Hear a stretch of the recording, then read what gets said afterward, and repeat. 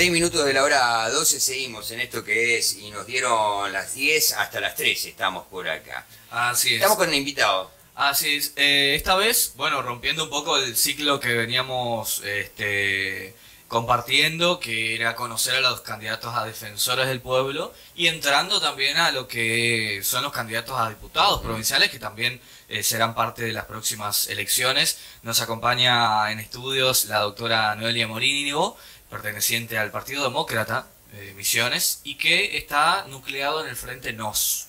Así es, así que bueno, saludarte Noelia, bienvenida, ¿cómo estás? Muchas gracias por la invitación y bueno, gracias a ustedes por el espacio, bueno, para promocionarnos un poquito, porque como vos bien decís, somos, somos nuevos. Mm, Con el Partido Demócrata es la primera vez que participamos. Y bueno, en realidad nosotros somos el Frente NOS, ¿sí? que participó en el 2019. Eh, fuimos tercera fuerza, acá en Oberá sacamos muchísimos votos. Y, y Oberá en cierta forma es el que impulsa a este, a este partido, ¿no? que no solo tuvo participaciones eh, en elecciones, sino también en otras actividades sociales que, que tuvieron que ver con, bueno, eh, marchas, causas y demás, ¿no? Sí, nosotros somos un grupo de personas que no, no venimos de la política en realidad. Somos profesionales, comerciantes, hay, hay amas de casa, de todo. Que, bueno, preocupados por toda esta situación de, de la instauración del aborto, de la ideología en las escuelas. Bueno, empezamos primero con marchas, ¿sí? Empezamos a, a hacer banderazos, por ahí algunas actividades de intervenciones en la ciudad. También hicimos eh, con mi- mis hijos No Te Meta una marcha una vez en contra de la jornada de género que se hacía en la escuela pública. Y bueno, después nos dimos cuenta que ya no ejercíamos presión y no teníamos una voz que nos represente en las legislaturas. Ahí es donde tomamos la decisión de armar nuestro propio partido y, y bueno, estamos en formación y ahora se dio la oportunidad de aunar fuerzas con el Partido Demócrata. ¿Cómo viene siendo este, este nuevo desafío? Eh, la primera vez, ¿no? Como candidata a diputada eh, Mira, provincial. yo en el 2003 estuve de candidata también en un frente eh, donde nos, digamos que nos prestaron el, el frente como para ir también en una línea provida, que era el Frente de la Esperanza.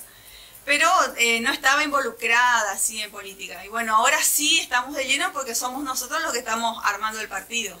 Sí. ¿Cómo observan, bueno, la realidad de la provincia en relación a estos temas que, que son el foco que, que pretenden ustedes visibilizar con mayor fuerza? Bueno, nosotros queremos darle una como una vuelta de rosca a todo lo que, que es la institución pública y cómo está conformada eh, actualmente. Nosotros tenemos una mirada más humana, ¿sí? Y vemos que por ahí eh, tanto el Poder Judicial como la Gobernación no están teniendo esta mirada, ¿sí? Que hace falta. Eh, en ese sentido tenemos ya armados todos los proyectos como para ir modificando ¿sí? y darle una como mayor agilidad a la atención a las personas. Te doy un ejemplo. En la administración pública las personas se quejan mucho de la atención, ¿sí? O hay demasiada acumulación de personal que por ahí uno pone un sello, el otro te pasa la hoja. ¿no? La burocracia. Exactamente. Entonces nosotros decimos, bueno, vamos a armar una administración que tenga eficacia, que sea eficiente a la hora de atender y que la experiencia de, de esa, de ese consumidor, de esa persona que va a ser atendida, que sea la mejor. Que tenga varios canales de comunicación con la administración, cosa de que no tenga que estar por ahí esperando en un 0800 o, o esperar en una fila larga como para poder resolver su problema. Y lo mismo pasa en, en el Poder Judicial, ¿no? Que bueno, se observa o se, se empezó a poner mucho foco en los últimos años, ¿no? El Poder Judicial, antes como que no sé, viste, Sí. era como... Ajá. Y ahora, sin embargo, ahí ya están como más en la vidriera, ¿no? Ah, Claro, En buena lo- hora también. claro, lo que pasa es que hay toda una bajada de línea de, desde el Estado Nacional con el tema de eh, ideologías y una, una mirada por ahí que va en contra de la familia. Te doy el ejemplo. Eh, los- el divorcio express. Eh, el juzgado de familia toma la ley nacional y directamente lo que hace es, bueno, toma la voluntad de esas personas, una de las partes quiere divorciarse, lo separa de acá y para allá y listo. No pone ni siquiera un poquito de voluntad en decir, bueno, a ver, ¿por qué se quieren separar? Vamos a hacer un esfuerzo de, de volver a recomponer esta familia o revincular a esta gente. No, no, no hay ni un poquito de voluntad. Lo mismo pasa con las expulsiones de hogar. Tenemos una ley de violencia provincial que lo que hace es de, de una, de buena primera expulsar al, al padre de familia y separa a esa familia para siempre.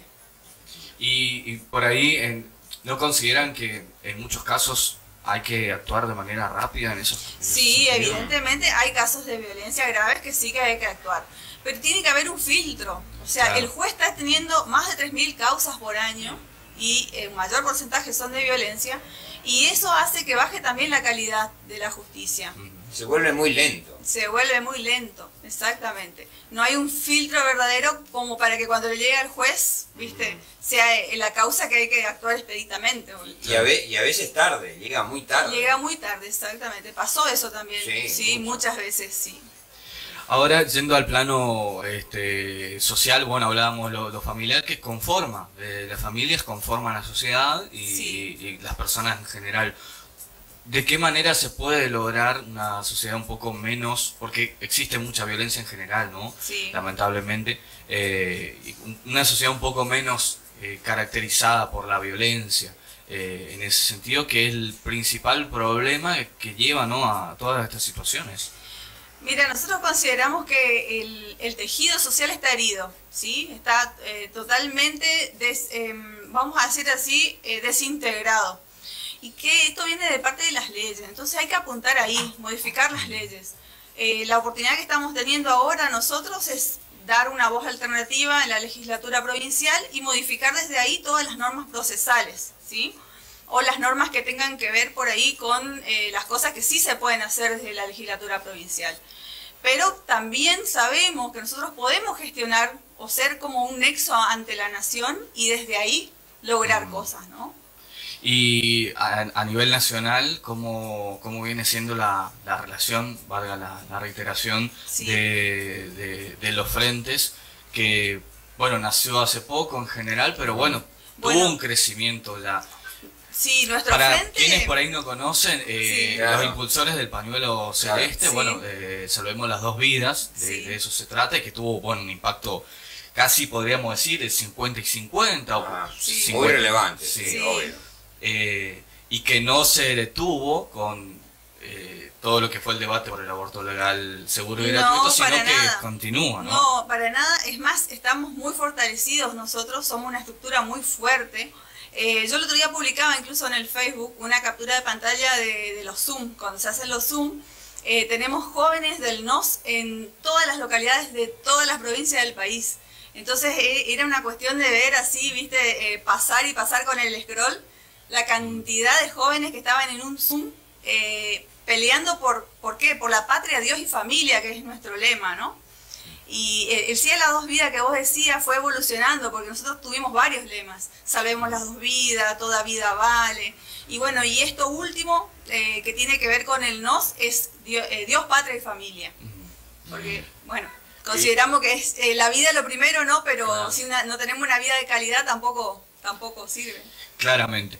Agradecerte, doctora, por la, por la visita. Nos va a faltar oportunidad para que volvamos a charlar, seguramente en- eh, previo a las elecciones. Y como siempre, las puertas de la radio abiertas para todos estos temas que son interesantes y que, que valen la pena siempre tenerlo presente en el tapete, Sí. que es lo, lo más valioso eh, usando estas herramientas que podemos tener. Sí, ¿no? muchas gracias por el espacio y como, como le decía, nosotros venimos a darle una vuelta de rosca a esto y somos personas que estamos por primera vez la política y queremos venir a, como decimos, arremangados a limpiar la política, porque estamos cansados y por eso tomamos la decisión. Y es la única manera, ¿eh? Sí. si no hay que, hay que Involucrarse, participar. Involucrarse, exactamente. Así que bueno, nos vamos a una pausita Y cortita. ya volvemos, estamos ¿eh? con Alejandra Chávez, que Ajá. es defe- candidata defensora del pueblo por el Frente Nos, así que seguiremos charlando en esta línea. Ya volvemos. Oberá tiene una radio que suena.